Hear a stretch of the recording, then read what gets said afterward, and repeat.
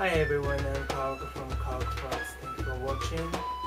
Today, this is gonna be about second edition of my corner clock. It's been updated, so I'm gonna show you how easily it can be installed. And before installing, uh, it needs some little preparation, so I'm gonna show you how. And here is the package you get.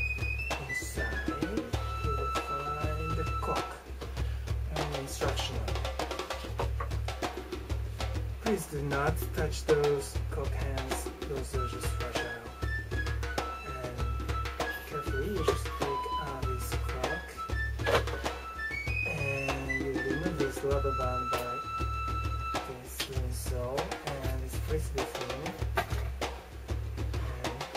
And you open the component on the back side and adjust the time.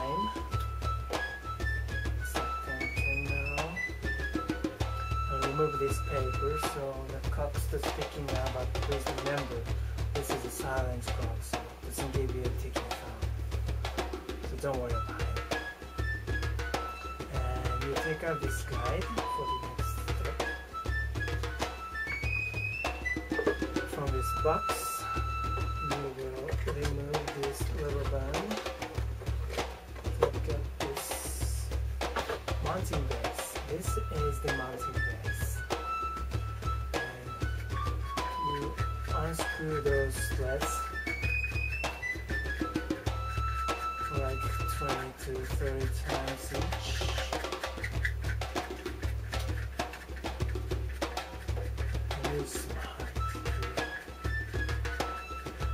Using this guide, you adjust the height.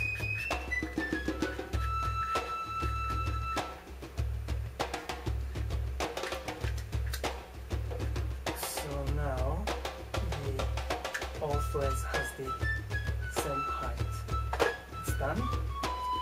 And this guide goes back to place, so you don't have to lose it. And hopefully, and it's ready for the installation. Basically, this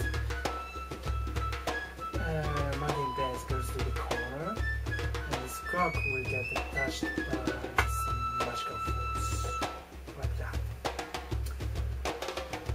Now we are good to go for installation. The fun part begins now. Okay, here we are. To install the corner clock, we need three things: mounting base, the corner clock, and a regular stapler. The one has an opening jaw, something like this, so it can be used against the walls. This process will be extremely easy and won't take a minute. Just make sure staples are properly placed. So let's do it. Now take the mounting base to the corner and staple it at four points.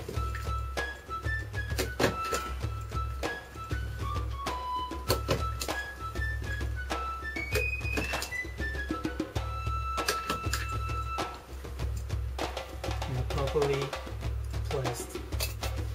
And take out the take this clock to this mounting base and attach to it. It's done. I'm Rucker. Thank you for watching. See you next time.